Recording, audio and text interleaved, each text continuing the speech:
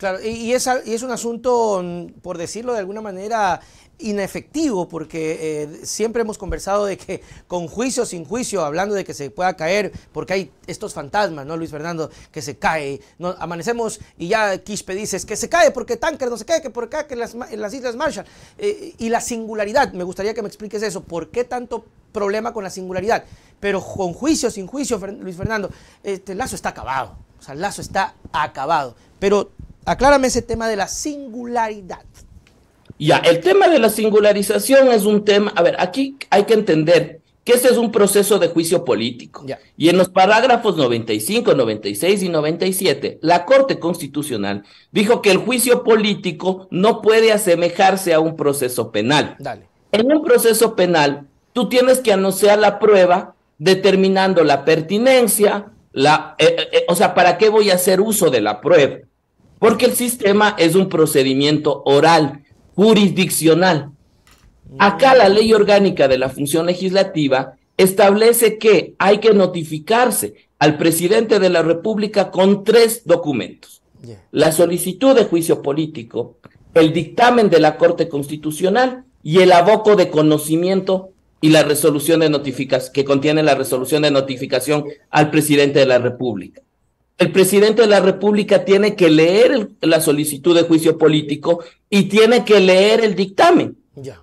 Y respecto de ello, tiene que presentarse. Por tanto, no hace falta una singularización, porque la Corte fue tan explícita que en el mismo dictamen determinó cuáles son los hechos que se van a, que se van a obrar en el juicio político.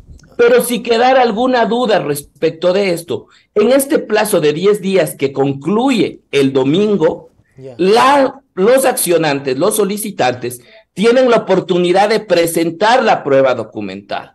Por tanto, la prueba documental individualizada tienen los solicitantes hasta el día domingo.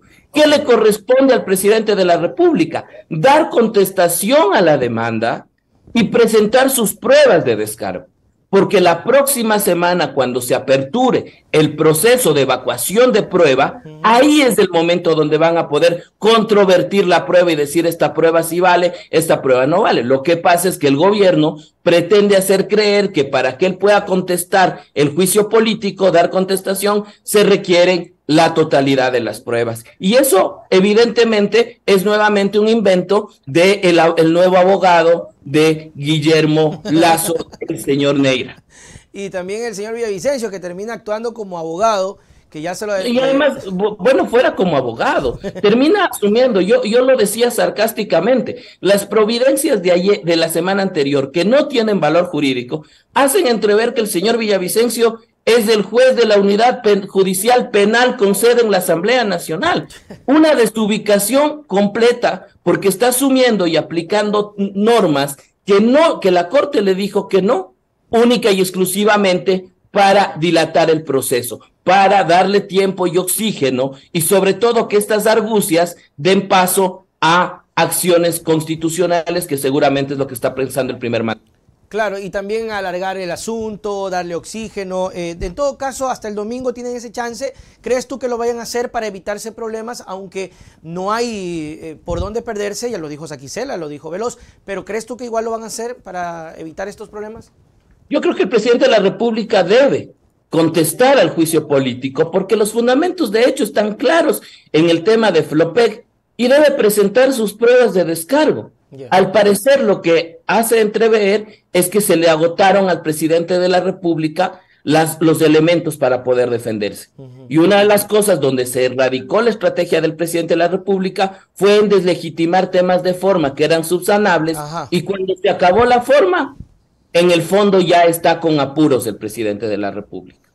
Por eso sale el señor Neira diciendo que ahora resulta que no ha renegociado, que como un contrato de arrendamiento existido una cláusula de renovación automática. Y el propio gobierno, y en esto quiero ser enfático, Nelson, decía que una de las ventajas fue la renegociación, pero ¿sabes cuál? Te doy una primicia ahí.